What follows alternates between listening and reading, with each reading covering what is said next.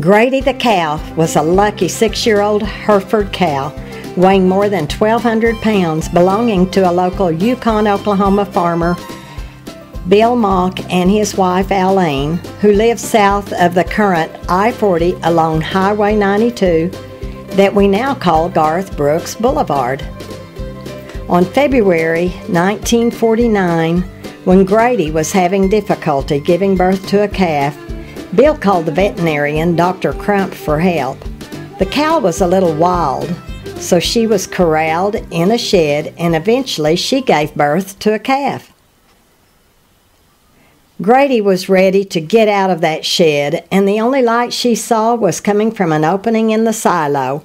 She bolted into the 17 inch by 25 and a half inch opening, approximately the size of a newspaper page. It happened so fast that the Mocks couldn't believe she could possibly slip through that size of an opening unharmed. The news traveled like wildfire, and after, the, after the dilemma was published in the local newspaper, the Yukon Sun, it eventually became worldwide news of Grady being stuck in a silo and unable to move enough to get out. The Mocks were receiving calls and telegrams from everywhere, day and night, giving advice on how to free Grady from the silo. The vet told Mr. Mock that she got herself into the silo so hopefully she'd figure her own way out, but that didn't happen.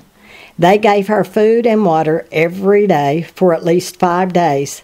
There were so many suggestions sent to them on how to get her out, such as Fill the silo with water and float her to the top. Build a platform and gradually raise her to the top, or take the silo down. But they didn't want to destroy it or even butcher her. None of the solutions were practical that were suggested. Luckily, on the fifth day, the Denver Post called Bill and told him they were sending a farm editor and a veterinarian by airplane to get that cow out for him. It was kept a secret until they got to Yukon of what they were going to do. There were approximately 350 people at the Mocks waiting to see how these people from Denver were going to free Grady. The vet gave Grady a shot of the same medication used in sleeping pills and they greased her up. They built a platform and heaved and pushed her up while she came to.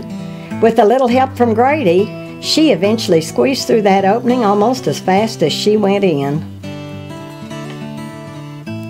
Grady lived a long and happy life with the Mocks until she was 18 years old and died of old age.